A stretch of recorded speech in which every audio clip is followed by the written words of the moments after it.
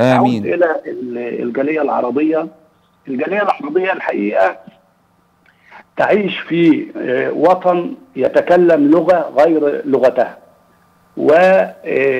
واغلبهم يشتكون آه، من الفقر. ومع ذلك آه، تجدهم يقفوا آه، مثلا قبل موضوع الزلزال وقت كورونا. لقينا الشباب عمل يعني جروبات. وبدأ يوصل للمحتاجين والعاطلين آه، آه، كراتين لحد بيوتهم. وفي آه، هذا الموقف الجلل في زلزال تركيا وسوريا لقينا الشباب المصريين المتطوعين يذهبون بالخيام ويتبرعون بكل يعني ما معهم وهو يعني قليل ولكنه في الميزان عند الله كثير. يعني رب درهم سبق ألف دينارا.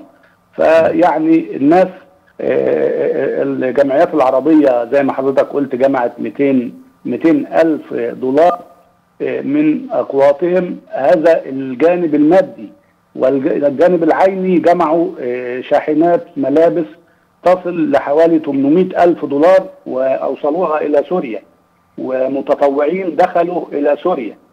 وداخل تركيا ذهبوا إلى جميع الولايات.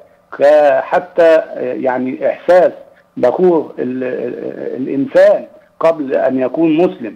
وأيضا لرد الجميل لأن تركيا تفتح أبوابها للعرب ولغير العرب بل توفر لهم منح آه، آه، دراسية ومادية للطالب آه، المغترب.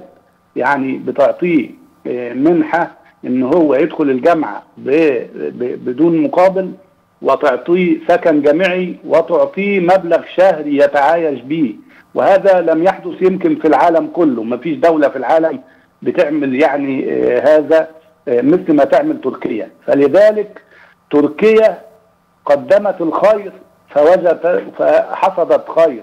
يعني الله تبارك وتعالى يعني آه، مطلع على كل شيء.